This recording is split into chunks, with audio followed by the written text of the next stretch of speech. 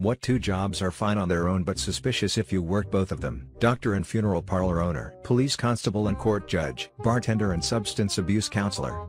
A friend of mine held both at the same time. A chemistry teacher and a car wash owner, financial advisor and debt collector, day trader and being a member of Congress wait. The owner of a hospital near me, got his wife in charge of the city's parking spaces. Needless to say, parking at that hospital is no problem, but anywhere else is hell. Sommelier and stay-at-home mom, midwife and consultant at an adoption agency. If you're dating anybody that works for in these professions, I need you brothers to keep your guard up. I want you to watch out because probably if you're married, all right, you're dating or you're talking to someone that has this profession, odds are they have a high probability of being a promiscuous woman. You better have your guard up in these situations.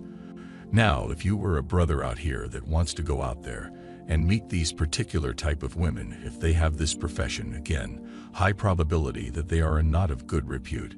So you might want to keep your eye open if you're looking to hit up any of one of these type of women. The first person is an attorney. All right, ladies in the legal profession, man, lawyers are not to be trusted at all. They have to lie to survive. They lie more than everyone else. Due of this, people refer to them as attorneys or liars, whichever you like. These people are skilled liars. They are paid to tell lies. They are paid extremely well to lie. These particular women may be feminists who prefer to spend the entire day outside. They are working tirelessly. Yes, they are grinding. Networking is going on. They are attempting to gain an advantage over the competitors, and they have no qualms about raising their legs in order to do so. If they are attorneys, chances are they will occasionally go up to the blue-collar worker and get ramrodded. I'm good by Chad and Tyrone, as they have been a bulldog and have been powerful and aggressive all day. They want to let their hair down and be dominated by someone. They don't want to constantly exert dominance. The likelihood is that if you're dating an attorney, you should keep your guard up in these circumstances because lawyers who represent women often have a thinking speed. The next one is that educators, such as teachers, spend their entire days dealing with children. They require some energy, and their sexual energy has been accumulated and developed in the back of their minds. Because they deal with children all day, they have to put that on the back burner of their minds. But in the end, some ladies can be very simple. They want to relax and become Ramrod, is it correct? They want to accept Chad and Tyrone stabbing. So be careful, men. And as you can see, all of the teachers who are coming forward, female teachers who have been having affairs with middle school boys, are falling in love with the boys, sending them sexual photographs via text message and being knocked up by them. What is happening outside? These instructors are. Okay, so if you're out there, you're in a minefield of a dating situation, or you're married to a teacher, you'd best be on your alert. She could very well be a thought, there's little doubt about that. Okay, the next career is that of secretaries, or executive assistants, as they are now known. These executives in their firm are accessible to these women, and they have no trouble approaching them at their desk and whispering something in their ears.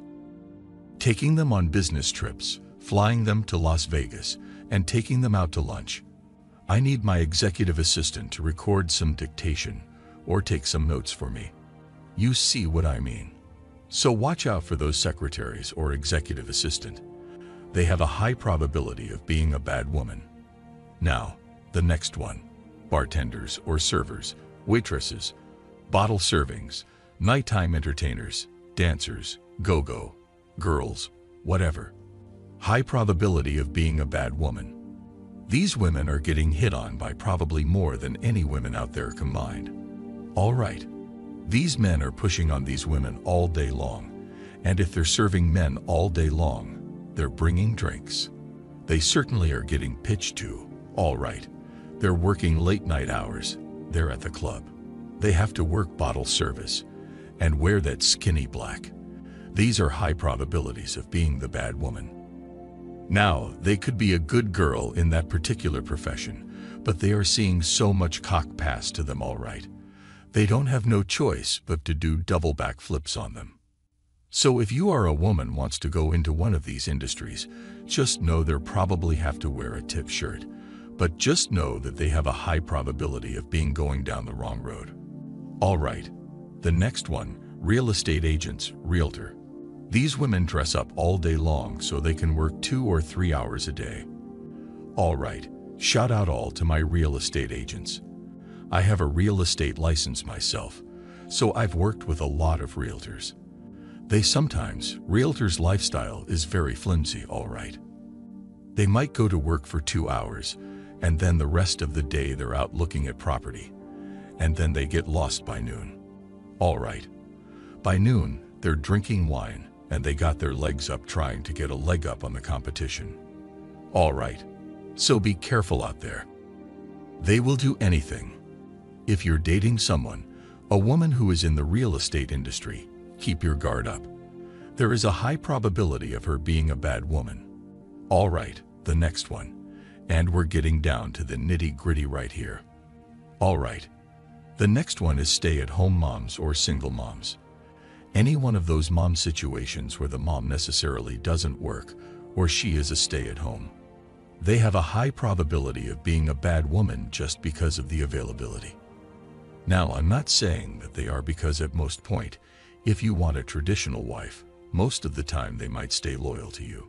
However, they are exposed to a lot of individuals that have a lot of time on their hands to lay some sex down. They're exposed to personal trainers, massage therapists, contractors, all of these UPS deliveries. All right, people at the grocery store, they have come in contact all day with individuals who want to lay some pipe and they have no problem laying pipe on a woman who is already committed to someone else. So be on the lookout for stay-at-home mothers. Those single mothers should be avoided. On their forehead, they already have a tattoo of AMA, the wicked woman. Tyrone or Chad have already had children with her, therefore they have no difficulty making you the third father in their family. So be on the lookout for those certain types of women. A hairdresser, renowned in the field, they resemble the women who live on the opposite side of the rails. They frequently have tattoos, piercings in their noses, and wild hair colors. For the most part, they tend to be peculiar. If you are dating a hairstylist in this case, you need to be aware that she smokes a lot of pipe. She's done a lot of double back flips because that's all they talk about in their little hair. Little circle right there that everybody that got their little hair booth they're all talking about all the people that they're doing. Monkey double back flips on right. That's the reality. You the situation. So beware of these hairdressers because they are some of the weirdest people you will ever meet. They must be insane, right? And everyone is aware that a good peace leave is when a crazy woman is involved.